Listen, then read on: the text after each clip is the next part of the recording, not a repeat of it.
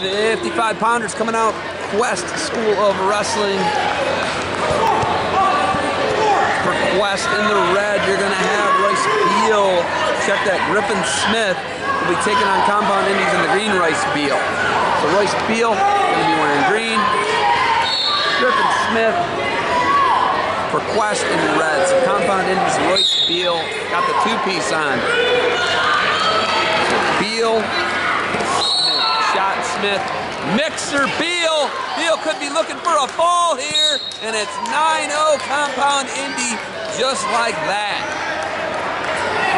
The old Mixer for the 55 pounder, and Royce Beal is going to be your winner, 9-0 Compound Indy.